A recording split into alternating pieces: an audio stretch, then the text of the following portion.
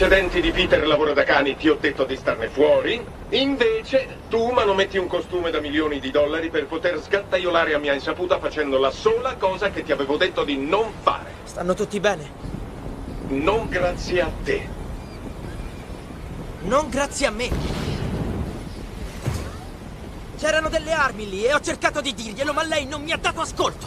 Non sarebbe successo niente se lei mi avesse ascoltato. Se le importasse qualcosa sarebbe qui di persona.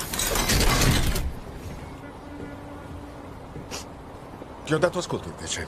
Secondo te chi ha chiamato l'FBI? Lo sai che io ero l'unico che credeva in te e tutti gli altri mi dicevano che ero un pazzo a voler reclutare un quattordicenne. Quindicenne. No, ora ti cuci la bocca! Va bene, adesso parla l'adulto. Se fosse morto qualcuno?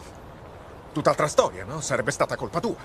E se fossi morto tu, mi sarei sentito in colpa io.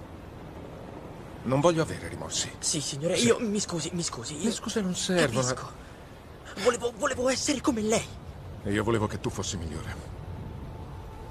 Ok, non funziona. Devi restituirmi il costume. Per quanto tempo? Per sempre. Sì, è così no, che no, no, funziona. la prego, la prego, la prego. Ridammelo. Signor Stark non capisce, è tutto quello che ho, sono niente senza il costume. Se sei niente senza il costume, non dovresti averlo, ok? Ah, parlo come mio padre. Non ho altri vestiti. Va bene, ci penso io.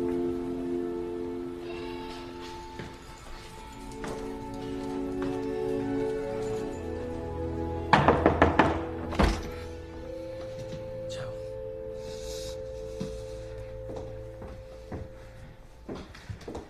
È tutto il giorno che ti chiamo e non rispondi al telefono. Ti sembra il modo? Poi ho visto quella cosa del traghetto. Ho chiamato cinque stazioni di polizia. Cinque!